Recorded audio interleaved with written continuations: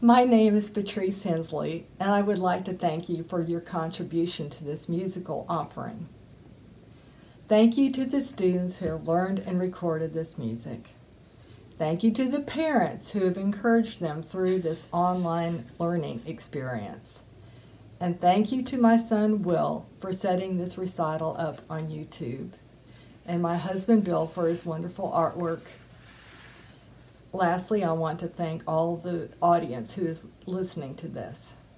It definitely has taken a village to make all this happen. All my life, I've imagined I might be stranded on an island with a grand piano. I guess I kind of got that wish with COVID isolation. If I had to choose one composer, it would be Frederick Chopin. I probably played more Chopin than any other composer. He and Franz Liszt revolutionized the sound and technique of piano in Paris around the middle of the 19th century. The development of the grand piano was at its zenith during Chopin's lifetime. The Industrial Revolution brought forth a full 88 note keyboard with a large steel frame.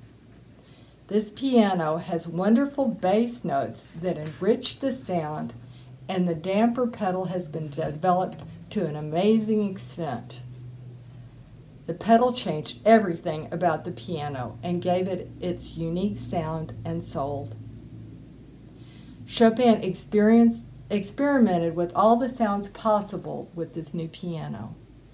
For example, just listen to this great ending of a Chopin etude.